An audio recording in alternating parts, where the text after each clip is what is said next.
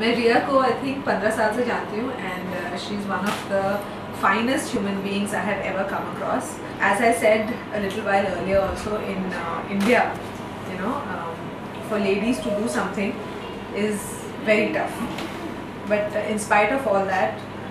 उन्होंने कुछ बहुत ही खूबसूरत खोला है, जिनसे बहुत you know lot of peoples life are going be affected I think that's a huge thing and uh, I'm a big fan of hers, I'm a big supporter and I wish her all the best. This is just the start, it's a long beautiful journey ahead and I support her all the way.